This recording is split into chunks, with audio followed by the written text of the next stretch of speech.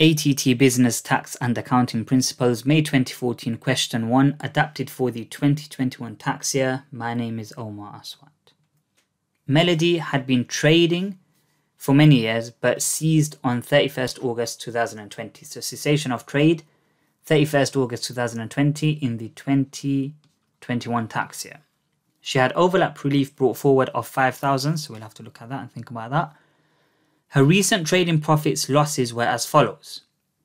So we have the year to 31st December 2018 30,000, 19 36,000 profits, and then the eight month period. So 1st of Jan, so our previous year ended 31st December, so 1st of Jan to 31st August 2020, eight months, we have a loss of 24,000 pounds.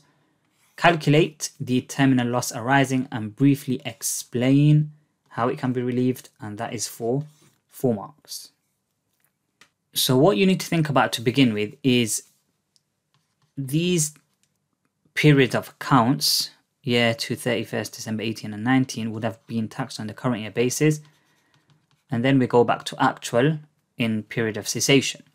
So, that 31st December 2018 would have fell in the 1819 tax year 30,000 would have been assessed in 1819, 36,000 in 1920.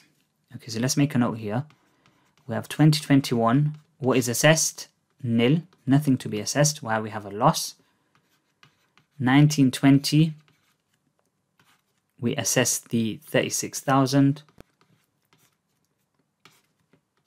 And 1819, we assess the 30,000 pounds. Okay. Terminal loss. What is terminal loss? Terminal loss is the loss of the final 12 months of trade.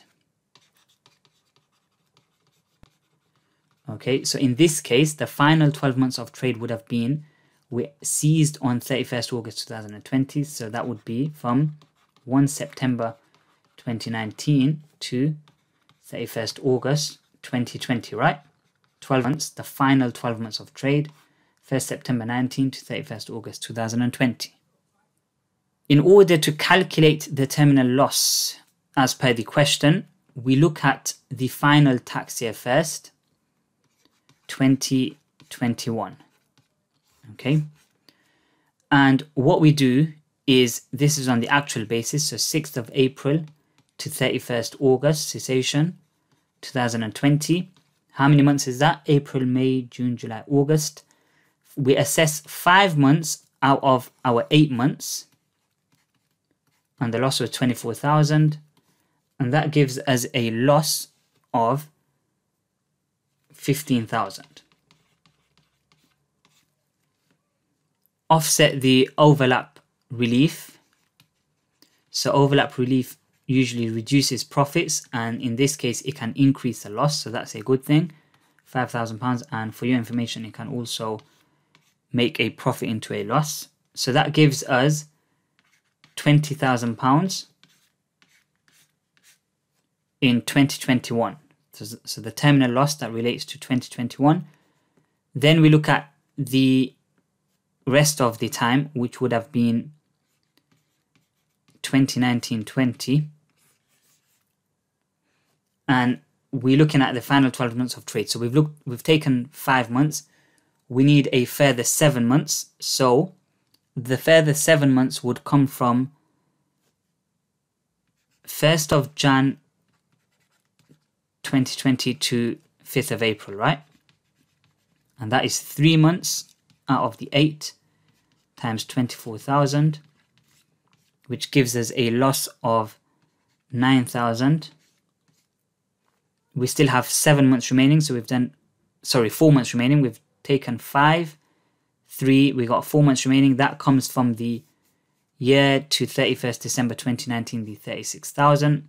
So that would be 1st September to 31st December. And that is 2019.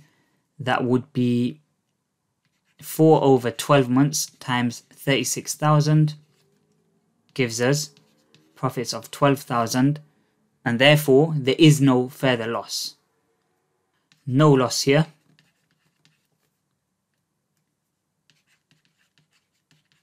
No loss for this period. And that therefore means our total terminal loss would be the £20,000. Briefly explain how it can be relieved.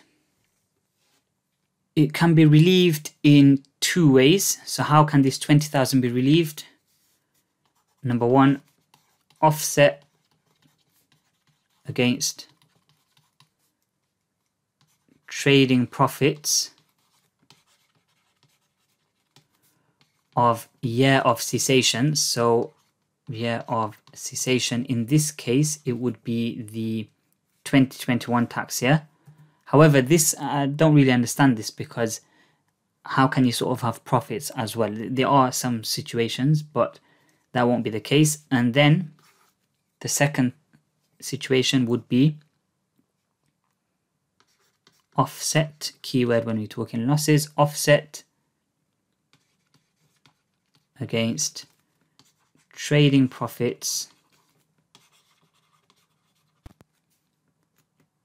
of previous three tax years on LIFO basis. So last in, first out, which is what we done. We looked at the 1920, this was the last in, first out tax year.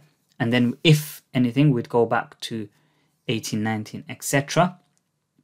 Now, this is more beneficial than Section 64 loss relief, Section 64 ITA 2007, which allows you to offset losses against the current year or previous tax year.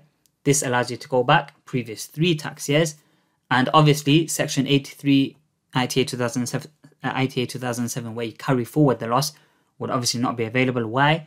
Cessation of trade. So you'd get two and a half marks for the calculation. So half overlap half